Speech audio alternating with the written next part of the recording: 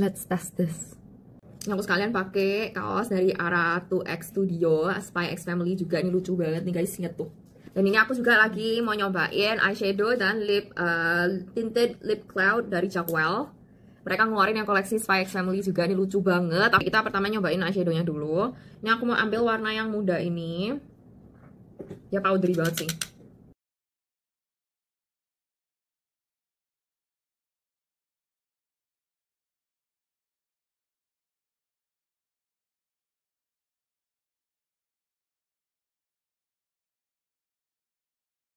Oke, okay, nextnya aku mau nyobain lipsticknya.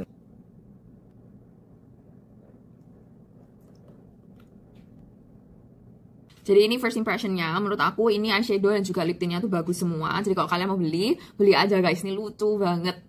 Oke okay guys, thank you for watching. Jangan lupa follow dan subscribe. Bye!